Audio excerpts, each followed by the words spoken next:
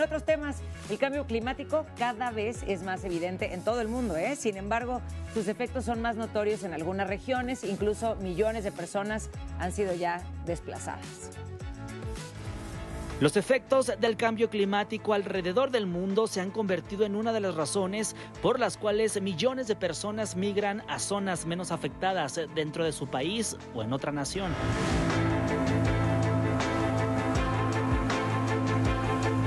La Oficina del Alto Comisionado de las Naciones Unidas para los Refugiados señala que en 2022 32 millones de personas fueron desplazadas por peligros relacionados al clima. En 2023 las temperaturas globales alcanzaron nuevos máximos históricos y el año estuvo marcado por decenas de incendios, inundaciones y tormentas intensas alrededor del mundo.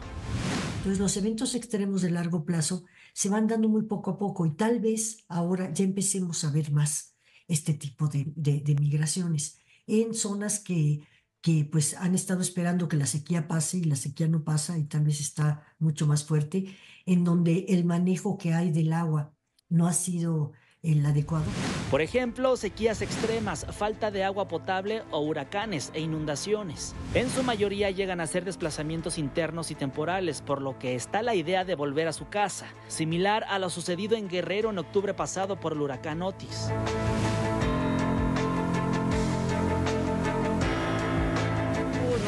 Agua, no hay lo primordial, cajeros, no hay para sacar dinero, para retirar, o sea, estamos sobreviviendo de las puras ayudas.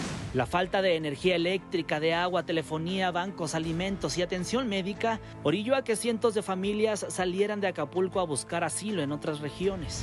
En nuestro país tenemos una buena parte en sequía, pero cuando es una sequía eh, excesiva o, anormal, también hay, hay desplazamientos.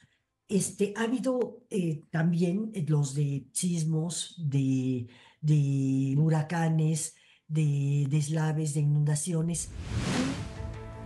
Otro ejemplo es la tormenta Daniel que azotó a Libia, África, hace seis meses. Naciones Unidas contabilizó más de 60 mil personas desplazadas o el exceso de lluvias durante cuatro años seguidos en Sudán.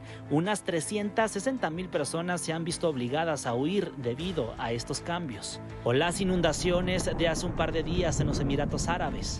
Sin una acción para mitigar el cambio climático y reducir significativamente el riesgo de desastres climáticos, de acuerdo con el mismo reporte de ACNUR, para 2050 más de 200 millones de personas necesitarían anualmente asistencia humanitaria debido a los efectos del cambio climático.